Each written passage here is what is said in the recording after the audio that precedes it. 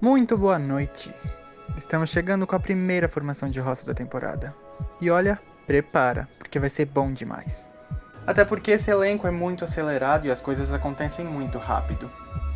E vai funcionar assim: o fazendeiro Vitor vai indicar um peão direto para a roça. Depois todo mundo vai votar. E quem receber mais votos vai para a roça também e vai escolher alguém da baia para fechar o trio de roceiros. E as punições começaram aqui na fazenda. Chris tomou a primeira punição da temporada.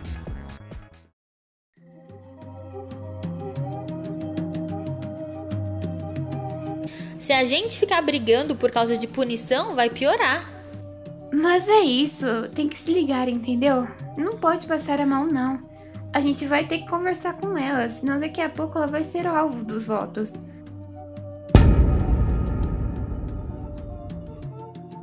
O jeito é tomar banho na caneca. Eu esquento a água pra você. Não, relaxa. Eu vou treinar e depois eu vejo. Não, eu esquento a água. Você quer que eu esquente a água pra você, Pati? Não, é que eu queria lavar a cabeça. Mas deixa pra lá.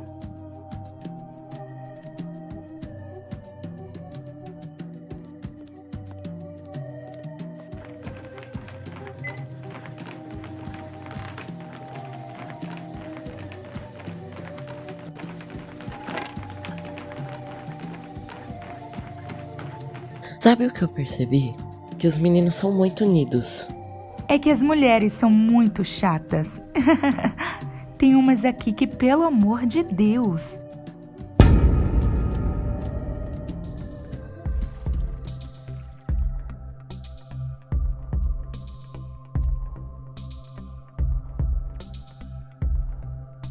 Ai, olha só que falta de noção. Hum, normal entre jovens. Mas se ninguém recolher, vai ficar aí. Não é normal. Então recolhe.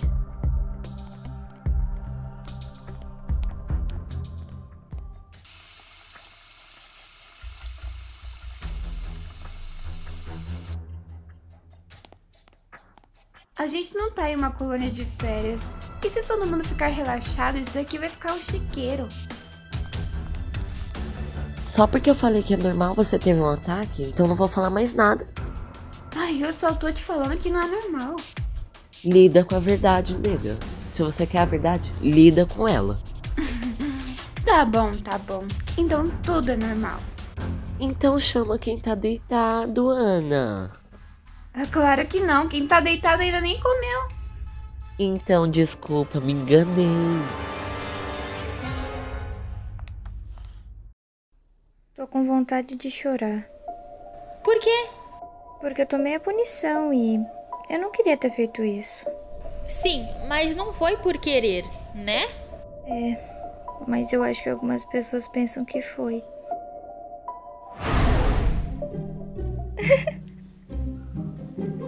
Ai, meu. Se fosse ao contrário, eu queria ver. O contrário do quê? Ah? O contrário. Se você tivesse, por exemplo. Mas eu tô rindo dele. Ah, coitado. Não, mas eu tô rindo porque ele tá fazendo graça. Então tá bom. Foi super engraçado. Mas como ele falou, você também não tava rindo? É, talvez. Isso que eu não tô entendendo. Só porque eu tomei a punição eu não posso rir? Porque ele é engraçado? Se ele é engraçado, eu vou rir, ué.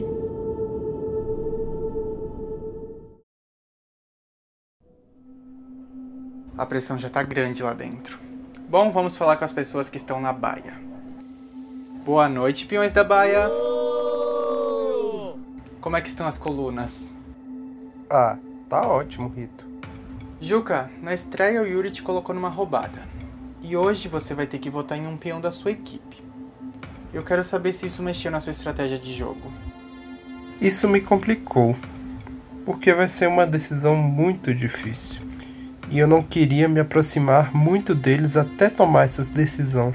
Bom, é o seguinte: podem subir lá pro deck que a gente já vai começar a votação. E agora a gente vai falar também com os peões lá da sede. Boa noite, galera! Hoje a gente vai ter a primeira formação de roças da temporada. Então, sem enrolação, vão até o deck da piscina. Andréia, você que venceu a prova de fogo, não esquece de levar o lampião. Ok, Rito.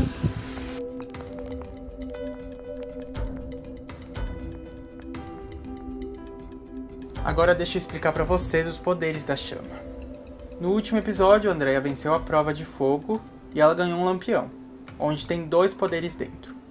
Daqui a pouco ela vai abrir os dois, ler e vai segurar um dos dois para ela, e o outro ela vai dar para quem ela quiser. Bom, agora sim, chegou a hora. Bora lá. Bom, galera, bora começar. Vitor é o fazendeiro, tá imune. E é ele quem vai indicar o primeiro roceiro de hoje. Depois disso, todo mundo vai votar abertamente em um dos peões da sede. E é justificando, tá? Não venham sabonetar aqui, tá? A pessoa mais votada vai ser o segundo roceiro e vai puxar alguém da baia para fechar a roça. Antes de começar, chegou a hora de abrir o lampião. Andréia, pega os dois poderes e volta pro seu lugar. Sem ler.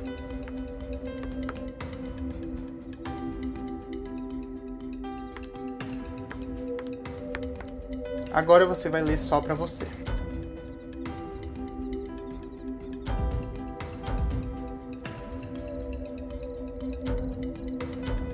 Agora, sem falar o que é cada um, você vai ficar com qual deles? Ok. E agora escolhe quem vai ganhar o outro. O azul pra Ana. Ok. Então, Ana, já pode abrir e ler em voz alta.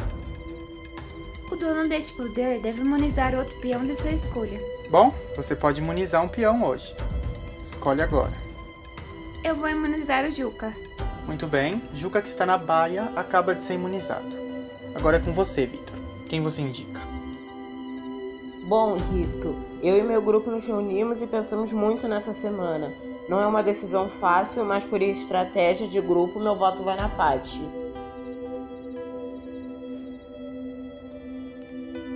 Esperava essa indicação, Paty? Ah, já esperava sim. Ok, primeiro roceiro definido. Agora vamos começar a votação da sede. Lembrando que não podem votar no Vitor por ser fazendeiro e nem nos peões que estão na baia. Vamos começar com você, Juca. Então, eu infelizmente tenho que voltar em alguém da minha equipe e eu espero, do fundo do coração, que ela não seja votada. Por isso eu voto na Cris. Ok, um voto na Cris. Andréia, dê o seu voto e motivo. Se muda muitas vezes de opiniões durante o jogo. Às vezes a gente se irrita com uma pessoa, sente carinho por outra, mas releva e tal. Eu vou votar nessa pessoa porque eu, atualmente ela é a mais afastada de mim. Eu voto é no Gabriel. Muito bem. Carol, sua vez. Bom, tem tido uns assuntos na casa, algumas fofocas e meu voto vai na Vicky, porque eu acho que ela entrou na casa com o pé esquerdo. Nem quis passar uma boa impressão como pessoa, já atacando na cara que não precisava gostar de todo mundo e etc, etc. Para mim, isso não é personalidade forte, já chega a ser falta de conseguir se segurar psicologicamente. Você tava na conversa para saber o que eu falei, amore? Ah, eu não sou burra, a maioria aqui fala isso de você. Ok, meninas. Agora é a vez do Bruno. Então, meu voto é na Cris. Gosto muito dela e eu espero que ela não tenha ódio ou algo do tipo. Até porque é um jogo, mas eu quero ganhar. Todo mundo quer ganhar. E por isso eu tenho que eliminar os mais fortes. Mais um voto na Cris. Agora, Arthur, diga o seu voto. Bom, hoje eu vou pensar em questão de afinidade e não no grupo, porque eu acho que tá muito cedo. Então eu vou votar na Maíra. Yuri, me diga o seu voto.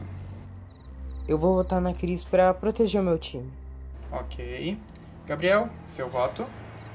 As pessoas aqui levam tudo muito a sério. Não se pode fazer uma brincadeirinha que já fecha uma cara. Hoje meu voto também vai ir na Cris, por esse motivo. Ai, Gabriel, me erra. Só porque eu tomei a punição, você já vem insinuando que eu não posso mais rir. E agora vem com esse discursinho que tava brincando. Ah, me poupe. Continuando. Ana, seu voto e por quê? Bom, a minha opção de voto, infelizmente, tá na Bayer, então eu vou votar na Vicky. Nada contra ela, mas eu acho que ela deveria aprender a tratar melhor as pessoas. Ok. Emily, seu voto? Meu voto vai na Cris porque ela é muito forte e por estratégia de time. Obrigado, Emily. Cris, agora é você mesmo que vota. Para tentar me defender, Rito, eu vou votar na Vicky. Para tentar se defender? É, já que ela é a outra que tem mais votos. Ah, claro. Ok, Vicky, você mesma agora. Eu também quero me proteger, então vou devolver o meu voto e votar na Cris, que tem uma personalidade forte, igual a mim. Não tenho nada contra, mas é estratégia. Ok. Maíra, você agora? Boa noite. Então, eu não conheço exatamente ninguém aqui ainda, nem as do grupo em que estou. Mas andei observando a todos e tive uma conclusão, deixando claro que não tenho nada contra. Pelo contrário, te acho uma jogadora muito forte. E por isso, hoje irei voltar na Cris. Você chegou já falando que não gostou de ninguém e que falava mesmo na cara.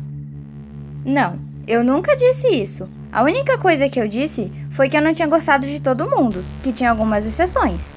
Da próxima vez, vê se pensa melhor antes de falar asneira. Pati, sua vez. Boa noite, Rito. Bom, eu também vou seguir a estratégia do grupo, então voto na Cris. Bom, muito bem. Pela votação, a pessoa que mais recebeu votos foi a Cris. Mas antes de você levantar, ainda tem um poder para ser aberto. Andreia, chegou a hora de você abrir e ler. Você deve anular votos de quatro peões. É isso. Eu avisei que esses poderes viram um jogo de ponta cabeça, né? Vou anular o voto da Emily, do Yuri, da Maíra e do Gabriel. Ok, você usou o poder, mas nada mudou. Cris continua com mais votos e por isso, Cris, você tá na roça.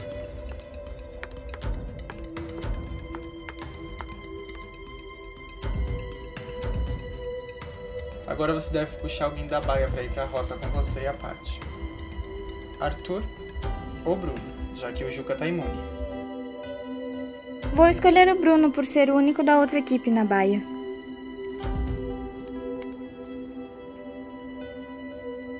Roça formada. Paty, Cris e Bruno. Não se desesperem porque agora temos a prova do fazendeiro. Então se preparem e desçam para o campo de provas.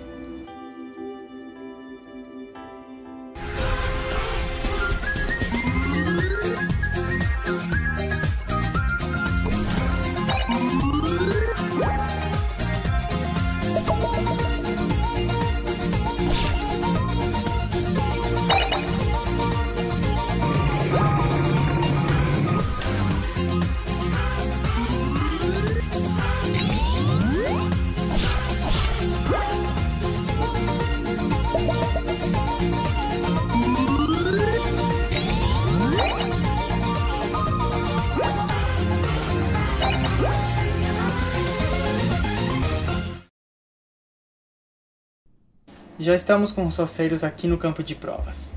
Preparados? Prestem atenção na explicação da prova. Na primeira etapa da prova, os roceiros terão que aparar um bonsai. O primeiro que matar o mesmo já está na roça. Seguindo para a segunda fase, eles correrão em uma esteira até aguentar. O último a sair da esteira vence e se torna um novo fazendeiro. Bom, então vamos começar. Podem aparar.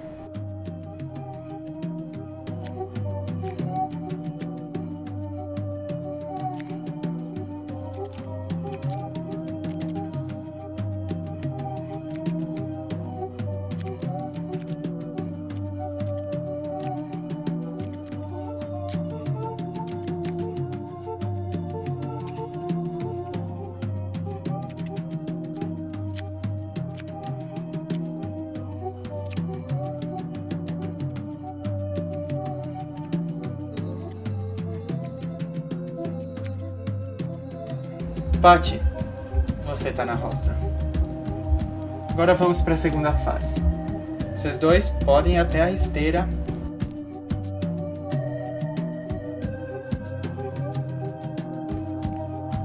E valendo!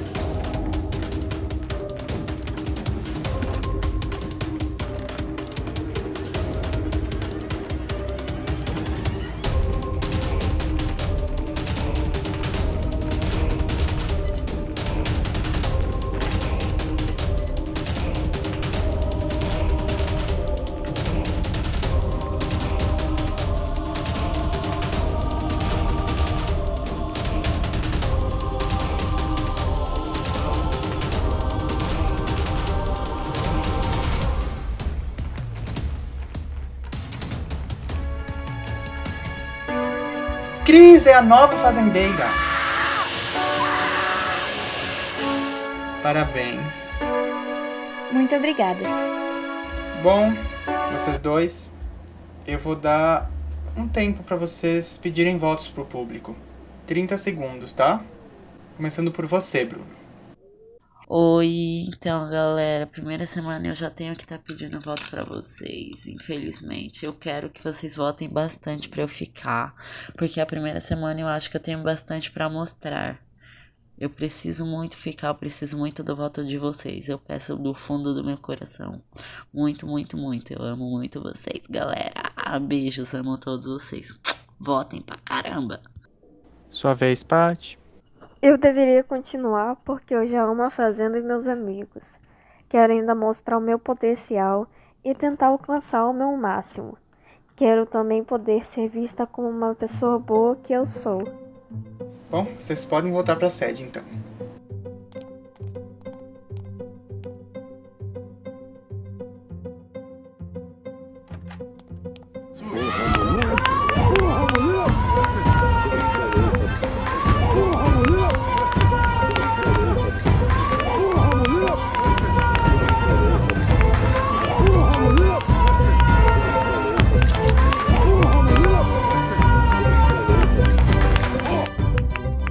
Bom, galera, a votação já está aberta. Vote no seu peão favorito. Quem você quer que fique? Bruno? Pati? Vote quantas vezes você quiser. A gente se vê em breve. Até mais!